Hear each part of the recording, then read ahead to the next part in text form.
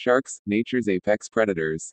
Sharks are a group of fish known for their powerful bodies, sharp teeth, and long evolutionary history. They belong to a class called chondrichthyes, meaning their skeletons are made of cartilage instead of bone.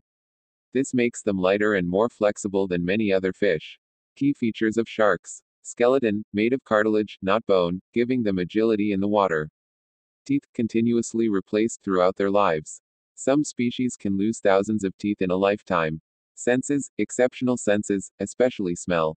Some can detect a single drop of blood in millions of gallons of water.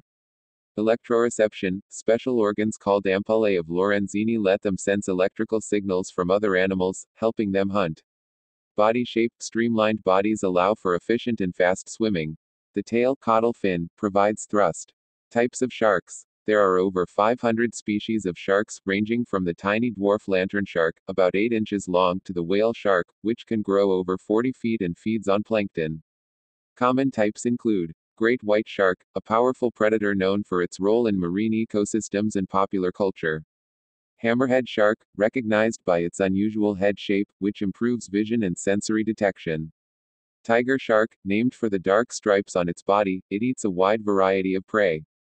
Bull shark, known for its ability to survive in both salt and freshwater.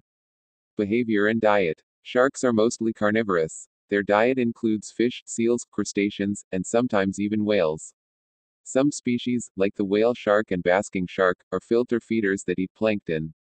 Sharks are usually solitary hunters, though some species may hunt in groups or gather during mating seasons. Reproduction. Sharks reproduce in three main ways. Oviparous, laying eggs, e.g., horn sharks. Ovoviviparous, eggs hatch inside the mother, and young are born live, e.g., great whites.